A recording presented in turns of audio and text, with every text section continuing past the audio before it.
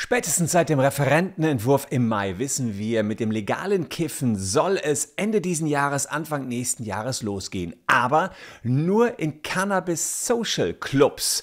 Wie die ausgestaltet werden sollen, hat der Gesetzesentwurf sehr genau geregelt und ich habe exklusiv mit zwei Betreibern von Cannabis Social Clubs gesprochen und die finden das gar nicht cool, was da im Gesetz steht. Sie sagen, so lässt sich das alles gar nicht umsetzen. So wird es nichts mehr mit dem legalen Kiffen ab Anfang 2024. Wir als Cannabis Social Clubs können das gar nicht stemmen. Die gesamte Cannabisversorgung für ganz Deutschland, das klappt nicht. Schaut euch die Statements der beiden Clubs, die es schon lange gibt, an und wie weit das Gesetzesverfahren aktuell steht.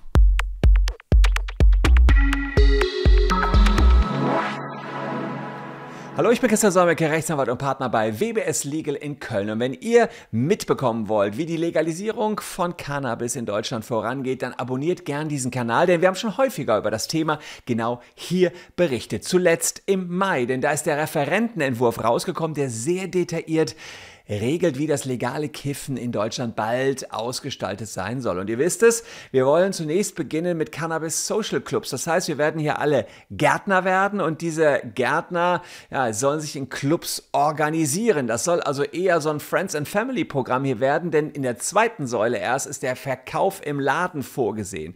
Und deswegen konzentriert sich alles auf diese Cannabis Social Clubs und die erlebt gerade einen Ansturm, wie es noch nie da gewesen ist ist. Und deswegen hatte ich mich mit Zweien unterhalten und mal geguckt, klappt das überhaupt alles?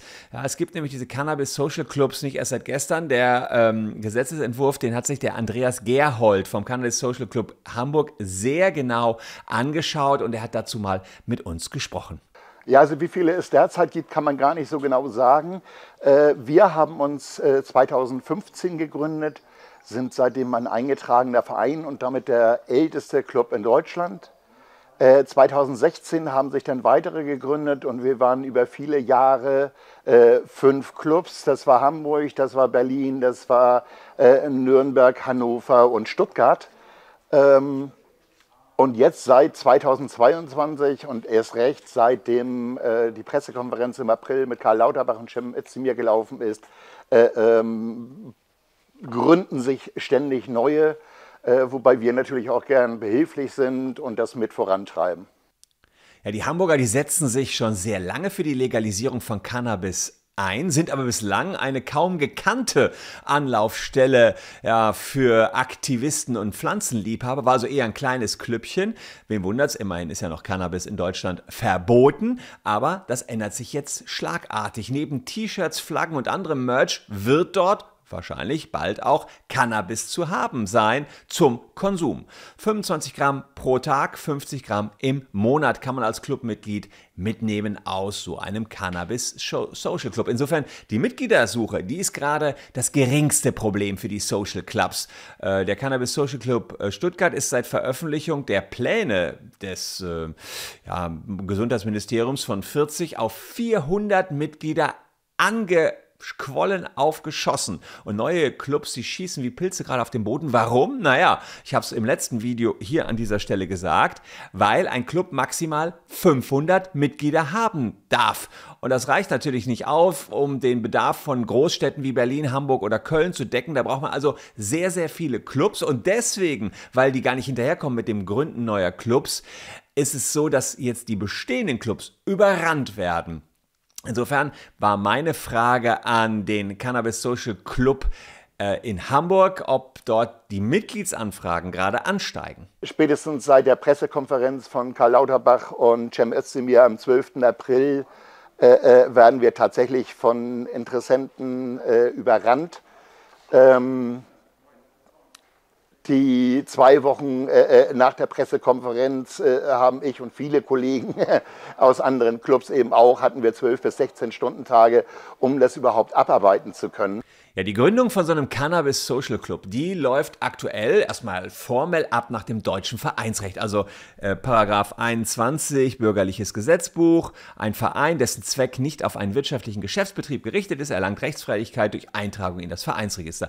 Hört sich also erstmal relativ simpel an. Im Grunde kann jeder so einen Verein gründen. Das heißt, äh, man muss einen Vorstand wählen, man muss eine Vereinssetzung haben, man muss sich ins Register eintragen lassen und darf nicht kommerziell tätig werden. Und nur an Mitglieder darf das gute Gras abgegeben werden. Aber es gibt natürlich noch aus dem Gesetzesentwurf des Cannabisgesetzes viele Detailanforderungen, die auf die Clubbetreiber hinzukommen, die ich euch gleich nochmal zeigen werde. Aber hier noch kurz der Hinweis, schaut mal, ob ihr vom dieser Datenleck betroffen seid, ähm, denn es sind über 14 Millionen Deutsche hier betroffen. Ihr müsst nur auf den QR-Code gehen oder unten die Caption auschecken und dann kommt ihr auf diese Webseite eingeben und ihr bekommt 1000 Euro Schadenersatz Jedenfalls fordern wir das von dieser, wenn ihr betroffen seid. Jetzt mal kurz auschecken. Im Gesetzesentwurf, da steht drin, was Cannabis Social Club Betreiber so alles zu beachten haben. Und da werfen wir mal kurz einen Blick drauf. Paragraph 15, Anbauvereinigungen, das sind diese Social Clubs, haben sicherzustellen, dass bei ihrer Tätigkeit jederzeit die Vorgaben des Gesetzes und der aufgrund dieses Gesetzes erlassenen Rechtsverordnung eingehalten werden. So, klar. Und dann äh, haben Cannabis unverzüglich zu vernichten, wenn es nicht... Äh, äh, Cannabis, oder, äh, oder Vermehrungsmittel unverzüglich zu vernichten. Anbauvereine haben nicht verkehrsfähiges Cannabis. Also wenn die was haben, was man nicht verkaufen darf, muss sofort vernichtet werden. Cannabis oder Vermehrungsmaterial, das sind die Samen, ist nicht verkehrsfähig und dann kommt das, wann das nicht verkehrsfähig ist. Also detaillierteste Regelung, detaillierteste Dokumentations- und Meldepflichten. Also jeder ist in der Lage sein, von wem haben sie Vermehrungsmaterial, also Samen erhalten, welche Mengen, welche Stückzahlen haben sie erhalten, an welche Mitarbeiter haben sie, Mitglieder haben sie was rausgegeben und, und, und. Also ich möchte kein Clubbetreiber sein. Das ist jetzt Paragraph 16, Paragraph 17. Schutzmaßnahmen. Ich habe schon gesagt, die müssen fast Zäune jetzt um ihre Clubs bauen. also auch das nicht ohne. Dann mh, hm, Einfuhr, Ausfuhr, Durchfuhr geht nicht. Anforderungen, wie exakt wird abgegeben, was muss alles beachtet werden, was muss deklariert werden, Prozentgehalt, THC. Äh, dafür, dass die Clubs im, im, im, bislang immer so auf freiwilliger Basis unterwegs waren, äh, gar nicht so simpel, was hier beachtet werden muss. Außerdem muss auch noch ein Antrag gestellt werden und man muss versichern, dass man zuverlässig ist und sich an alle Vorgaben hält. Man muss Jugendschutzkonzepte erstellen, man muss ein Führungszeugnis abgeben, vieles, vieles weitere. Außerdem muss man einen passenden Platz finden zum Anbau von dem ganzen Kram. Also, wenn man einen Club erstmal gegründet hat, ja, da muss man eben diese ganzen rechtlichen Vorgaben einhalten. Deswegen haben wir Herrn Gerold vom Cannabis Social Club Hamburg gefragt, ob er sich gewachsen sieht, diesen strengen Regularien zum Anbau und zur Abgabe von Cannabis in den Clubs überhaupt gerecht zu werden. Also ist das realistisch, was hier im Gesetz äh, verankert ist? Ja, und das ist seine Antwort. Mit strengen Regularien war ja zu rechnen. Äh, nicht mit dem überbordenden Wahnsinn, der uns jetzt äh, zuletzt präsentiert wurde, aber mit strengen Regularien war zu rechnen, damit kommen wir klar. Das schaffen wir. Darauf bereiten wir uns vor. Ähm, wir entwickeln Software zur Dokumentation des Anbaus und der Abgabe und äh, äh viele Sachen mehr. Sicherheitsvorschriften, äh, überbordende, lassen sich erfüllen. Die kosten einfach Geld. Das ist einfach Aufwand. Und am Ende kann dabei eben rauskommen, dass unser selbst angebautes teurer wird durch diesen ganzen Aufwand, als das, das was auf dem Schwarzmarkt verkauft wird. Und dann haben wir nämlich kein, äh, keine Schwarzmarktverhinderung, sondern dann haben wir ein Schwarzmarktfördergesetz. Ja, und er hat uns auch ein Feedback dazu gegeben, wie die aktuellen Umsetzungen der Legalisierung gerade bei ihm laufen. Auf vieles können wir uns da schon vorbereiten, ohne die genauen Regeln zu können. An anderen Stellen äh, äh tappen wir noch im Dusern. Wir wollten es aber nicht nur von den Hamburgern wissen. Wir haben auch mit Julen Merino vom Cannabis Social Club in Stuttgart gesprochen, denn auch der sieht das Konzept, was da gerade seitens der Regierung entwickelt worden ist, eher kritisch. Und ich wollte von ihm wissen, kann man das als Club überhaupt stemmen? Kann man so viel Aufwand jetzt leisten, damit künftig ganz Deutschland mit Cannabis versorgt werden kann? Dazu können wir leider noch keine klare Aussage treffen, solange es noch keinen endgültigen Gesetzesentwurf gibt. Wir wollen unseren Mitgliedsbeitrag von 3 Euro sehr gern beibehalten, was sich aber mit dem aktuellen Gesetzesentwurf nicht ganz einfach gestalten wird. Wir streben an, den Mitgliedsbeitrag so gering wie möglich zu halten und die Umkosten mit dem Verkauf der Blüten zu decken. Somit werden Mitglieder, die weniger Cannabis benötigen, fairerweise auch weniger an den Umkosten der Herstellung beteiligt. Insgesamt haben wir die beiden Experten natürlich zu dem Entwurf befragt und wir wollten wissen, ob es in Ordnung ist, dass man in den Clubs einfach nur Gras erwerben kann, aber selber da gar nicht kiffen darf. Es gibt ja da gewisse Zonen, wo man kiffen darf und in den Clubs geht es jedenfalls nicht. Ich finde diese Regelung nicht gerechtfertigt, da es zum Beispiel für Kneipen, Shisha-Bars und Zigarrenclubs auch keine Gesetze dieser Art gibt. Socializing ist ein großer Teil eines CSCs und es geht nicht nur um eine Cannabis-Abgabestelle, sondern es geht darum, einen Ort zu schaffen, an dem Gleichgesinnte gemeinsam eine gute Zeit haben können, Cannabis genießen und erwerben können. Und wir stellen uns das ein bisschen so vor wie ein, wie ein zweites Wohnzimmer. Und sollte Socializing gar nicht möglich sein, hätte das für mich mit einem Cannabis Social Club gar nichts zu tun. Ja, das ist ein äh, Problem. Ähm, Karl Lauterbach äh, mit seinem Entwurf äh, spricht ja auch tatsächlich explizit nicht mehr von CSCs, äh, sondern nur noch von Anbaugemeinschaften und ähm, Cannabis-Clubs. Äh, das heißt, ausgerechnet ein sozialdemokratischer ähm, Gesundheitsminister hat uns das gesundheitsfördernde Soziale aus dem Konzept einfach rausgestrichen. Ähm, und das ist, das ist einfach äh, äh, kontraproduktiv. Ja, in meinem letzten Video hatte ich ja schon mal angesprochen, dass die Abstandsregelungen sehr, sehr äh, eng sind. Ich glaube, 250 Meter oder so von Kindergärten, von Schulen entfernt darf man nicht kiffen. Und das führte beispielsweise in Hamburg dazu, dass man so gut wie nirgendwo kiffen darf. Also ich hatte euch die Google Map gezeigt, wo die ganzen Kreise sich überschneiden. Man sieht sozusagen äh, äh, äh nicht 250 Meter von Schulen, von Kindergärten, von dem, von dem, von dem. Und dann, dann bleibt nur noch irgendwie ein Randbezirk von beispielsweise Hamburg. Und deswegen wollte ich es auch vom Hamburger Social Club wissen. Wie steht es denn mit den Abstandsregelungen? Und das hat uns Gerold ähm, dazu gesagt. Wenn man jetzt in den Clubs den Konsum verbietet, sogar noch in einem Umkreis von 250 Metern drumherum, plus um Schulen, plus um Kindertagesstätten und so weiter, dann gibt es schon gar keinen Ort mehr, äh, in dem es in Hamburg überhaupt einen Club geben könnte. Und das geht in allen, das ist in allen Großstädten so. Ähm, damit äh, werden die, die Clubs wieder an den, an den Rand gedrängt, in Industriegebiete oder irgendwo anders hin, äh, während der Dealer weiterhin an der nächsten Ecke steht. Ja, die Tatsache, dass es jetzt immerhin eine Entkriminalisierung der Kiffer gibt, die findet Andreas Gerold natürlich sehr, sehr gut. Aber er hat noch weitere Kritik an dem Entwurf auszusetzen gehabt. Das will ich euch hier kurz äh, auflisten. Er sagt, die Überwachung, die Kontrolle der Clubbetreiber, die ist viel zu groß, die ist überbordend. Wir werden in die Nähe von Kriminellen gerückt, nur weil wir so einen Club betreiben. Außerdem, wir sollen Mitglieder und Konsumdaten an Behörden übermitteln. Das sind aber Infos, die gehen den Staat einfach nichts an. Also auch das ist noch eine seiner Kritiken. Außerdem sagt er, wenn die Mengen überschritten werden, haben wir viel zu krasse Strafvorschriften. Das heißt, hier müssen Strafvorschriften gelockert werden. Er findet die Vorschriften für die äh, Regelungen rund um den Samen, es sollen ja nur ein paar Samensorten zugelassen werden, völlig überzogen. Er sagt, in der EU kann man Samen einfach frei handeln.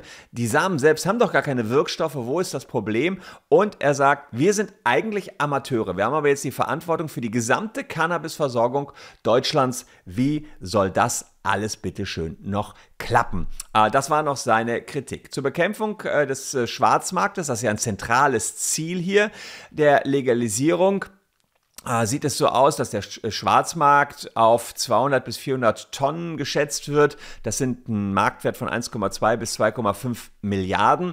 Wurde ja dieses Gesetz eingeführt und ähm, ja, jetzt soll aus dem Schwarzmarkt erstmal ein Graumarkt werden. Das sind die Befürchtungen. Hintergrund ist, die ganzen Cannabis-Social Clubs werden gar nicht die gesamte Bevölkerung aufnehmen können. Was wird passieren? Die, die da drin sind, geben Cannabis an ihre Freunde ab, auch wenn die nicht in Cannabis-Social Clubs sind. Ist doch klar. Das allerdings wäre wieder illegal. Und äh, die Mitglieder würden also legal erworbenes Gras in den Social Clubs, also aus den Social Clubs mitnehmen und illegal weiterverkaufen. Denn man hat 50 Gramm pro Monat. Das ist ja keine kleine Menge. Und im Referentenentwurf, in Paragraph 41, ist das weiterhin strafbar.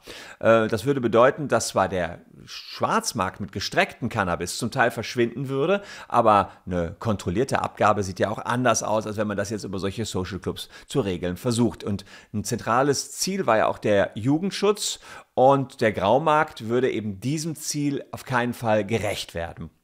Und äh, ja, man hat also neben Produkt, Produktqualität, Vertrauen in die Verkaufsstelle und Erreichbarkeit ist natürlich auch der Preis für den Konsumenten entscheidend. Und wenn es zu teuer ist, legales Cannabis, wird man auch weiter auf Schwarz- oder Graumärkte zu ähm. Deswegen wollten wir von den Hamburgern wissen, was äh, man dort von dem Gesetzesentwurf denkt und ob die primären Ziele, also Bekämpfung des Schwarzmarktes und der Jugendschutz, so mit den Plänen auch wirklich erreicht werden können. Nein, die aktuellen Pläne werden äh, den Zielen äh, Gesundheit und Jugendschutz und Verbraucherschutz überhaupt nicht gerecht. Im Gegenteil, ähm, sie konterkarieren viele Bemühungen und äh, wirken kontraproduktiv. Wenn beispielsweise durch die Abstandsregelung Cannabis Social Clubs gezwungen sind, an den Stadtrand zu gehen oder in Industriegebiete zu gehen, ähm, dort nur begrenzte Sorten anbieten können, weil sie nur die zugelassenen zertifizierten, vom Bundessortenamt zertifizierten Sorten anbieten dürfen. Es auf dem Markt aber Zehntausende von Sorten gibt. Äh, unsere Ware womöglich noch teurer ist am Ende als auf dem Schwarzmarkt. Dann gehen die Leute doch, und das höre ich immer öfter, dann gehen die Leute weiter auf die, zur nächsten Ecke zu ihrem Dealer. Also ihr hört, das ist viel zu teuer, das Cannabis in den Clubs. Deswegen ja, geht man eher nicht davon aus, dass man eine Bekämpfung des Schwarzmarktes damit erzielen kann. Und einen der umstrittensten Punkte haben wir natürlich die beiden Clubbetreiber auch gefragt, Kiffen und Autofahren. Hier sind die Grenzwerte aktuell so streng, dass ihr viele Tage, nachdem ihr einmal gekifft habt, nicht mehr Auto fahren dürft, weil ihr einfach noch Cannabis im Blut habt oder THC-Gehalt im Blut habt, obwohl ihr mittlerweile völlig klar seid. Ja, und da sieht der Gesetzesentwurf keine sofort sofortige Anpassung der Grenzwerte vor. Und deswegen haben wir gefragt, besteht denn hier Handlungsbedarf oder sollte das Verkehrsministerium bei der Evaluierung der Grenzwerte die Zeit bekommen, die es benötigt? Das ist ja jetzt vorgesehen. Man soll will erstmal gucken, erstmal ganz, ganz streng. Also ihr müsstet quasi schon mittwochs kiffen, dürft dann bis sonntags nicht mehr Auto fahren, dann könnt ihr montags wieder Auto fahren. Auch da haben wir die, die entsprechenden Fragen gestellt. Ja, das ist ein Thema, das ist eigentlich überhaupt längst äh, äh überfällig und es hat mit der Legalisierung und mit der Entkriminalisierung eigentlich äh, nicht wirklich was zu tun. Das hängt nicht direkt zusammen. Ähm, derzeit werden Menschen äh, Führerscheine abgenommen, ähm, obwohl der letzte Cannabiskonsum Tage oder Wochen zurückliegt und äh, überhaupt keine Rauschfahrt vorliegt. Damit werden Existenzen zerstört. Ja, und dann gibt es noch eine zweite Säule der Cannabis-Legalisierung. Ähm, die steht noch nicht im Gesetz, aber da soll es darum gehen, dass man jetzt Modellregionen hat, die stehen im Vordergrund. Da will man Verkaufsläden haben, also keine Clubs, Verkaufsläden, freier Verkauf. Städte können einen Antrag einreichen, dass sie jetzt an Modellprojekten teilnehmen wollen. In Nordrhein-Westfalen hatten sich Städte wie Münster, Bonn und Köln bereits Interesse bekundet, aber ja, die Bayern haben schon gesagt, wir scheren da aus, wir wollen das nicht. Und die, äh, in NRW sagt man jetzt das Gleiche. Da sagt nämlich die CDU und äh, hier der Gesundheitsminister Laumann in CDU in Nordrhein-Westfalen, er ist gegen die Zulassung des Modellvorhabens, gerade auch mit Blick auf die Gefahren von cannabisbedingten Hirnschädigungen bei jungen Erwachsenen bis 25 Jahren. Ja, insofern ist äh, da ja, Gegenwind zu erwarten vom NRW-Gesundheitsministerium. Allerdings ist völlig unklar, ob das NRW-Gesundheitsministerium bei diesen Modellprojekten überhaupt Mitspracherecht hat. Das wird wiederum ja erst klar, wenn die weiteren Pläne für die zweite Säule, also freier Verkauf der Bundesregierung, vorliegen werden. Und das ist wirklich etwas, was wir hier mit Spannung erwarten und für euch auch dann kommentieren werden. Abo lohnt sich auf jeden Fall. Und äh, Gerolds äh, aller, Alex, Andreas Gerolds äh, allergrößte Befürchtung ist die folgende. Noch größer ist eigentlich nur die Befürchtung, dass die gesamten Verzögerungen, bis heute ist ja gar nichts passiert, dass die gesamten Verzögerungen bis 2025 weitergehen, wir Neuwahlen haben, diese Regierung zu Recht nicht wiedergewählt wird und das Thema damit vom Tisch ist. Das ist unsere allergrößte Befürchtung. Ja, hoffen wir mal, dass er damit nicht recht bekommt und äh, äh diese Schmalspur-Bürokratie-Legalisierung kommt, die ja jetzt erstmal geplant ist. Alles weitere kann sich dann noch entwickeln. Wir werden das hier für euch auf jeden Fall beobachten. Würde mich freuen, wenn ihr äh, noch ein bisschen dran bleibt und uns ein Abo da lasst. Wir sehen uns morgen an gleicher Stelle schon wieder. Danke, dass ihr heute meine Gäste wart. Bleibt gesund, liebe Leute. Tschüss und bis morgen.